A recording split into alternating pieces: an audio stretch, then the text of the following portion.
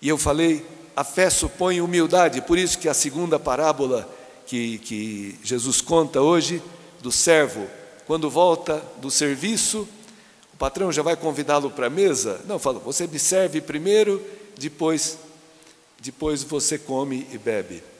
E Jesus termina dizendo: é, depois de ter desfeito tudo, é difícil a gente fazer tudo, dizei: somos servos inúteis, somos simples servos.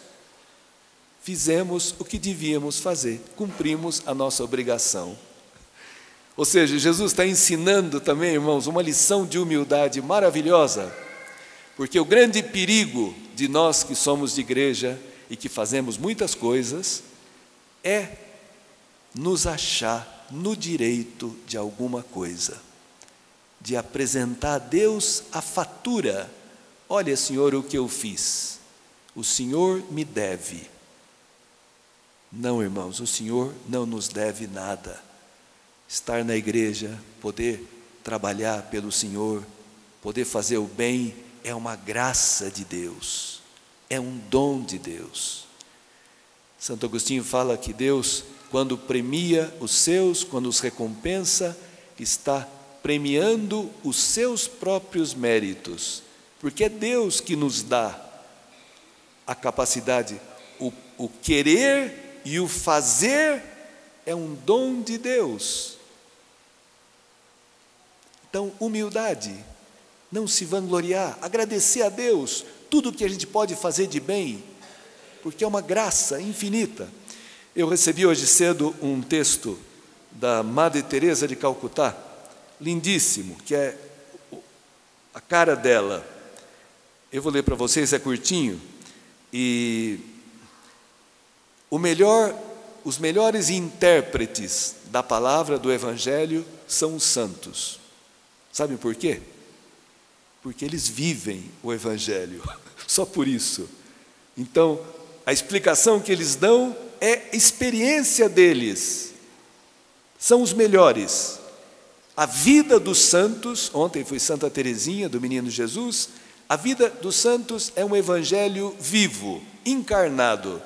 Por isso, eles têm uma compreensão da palavra muito mais profunda, muito mais vital do que qualquer estudioso que fica só em cima dos livros, mas não reza, ou não, não age, não vive a caridade. Tá bom, mas o que, que a Madre Teresa de Calcutá, santa, foi canonizada, o que, que ela diz sobre esse evangelho? Somos servos inúteis, fizemos o que devíamos fazer. Olha o que ela diz. Ser sempre fiel nas pequenas coisas, pois é nelas que reside a nossa força como Santa Teresinha, que se santificou nas pequenas coisas.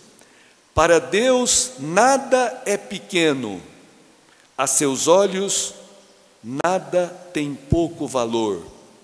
Para Ele todas as coisas são infinitas. Põe fidelidade nas coisas mais mínimas, não pela virtude que lhes é própria, mas por essa coisa maior que é a vontade de Deus e que eu respeito infinitamente. Não procures realizar ações espetaculares. Devemos renunciar deliberadamente ao desejo de contemplar o fruto do nosso labor, fazendo apenas o que podemos, o melhor que podemos e deixando o resto nas mãos de Deus. Olha que beleza. O que importa é a dádiva que fazes de ti mesmo. O grau de amor que pões em cada ação.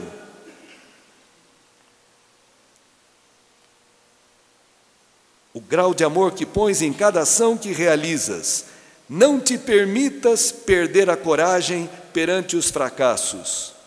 Se de fato deste o teu melhor, e recusa a glória sempre que fores bem-sucedido.